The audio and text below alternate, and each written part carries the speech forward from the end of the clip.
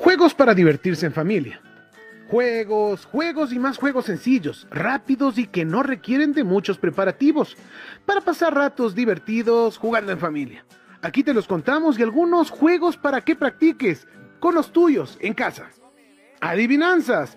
Puedes recordar las de tu infancia, pedir a tus hijos mayores que recuerden las que han aprendido en el colegio o tener a mano un libro de adivinanzas para niños. Si tienes un libro, puede ser la excusa perfecta para que los niños mayores los lean de forma entretenida. Recuerden que en Internet también pueden encontrar algunas opciones muy buenas. El teléfono descompuesto. ¿Te acuerdas de este juego?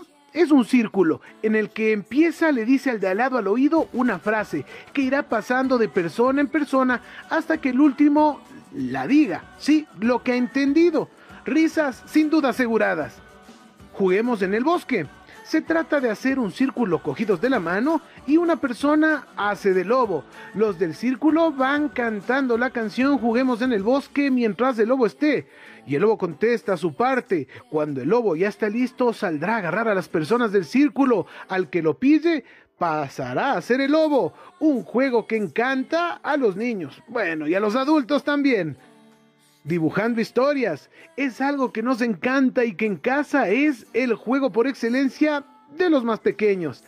En una hoja en blanco, una persona va contando un cuento, lo va dibujando a la vez, quedando al final un dibujo del cuento contado.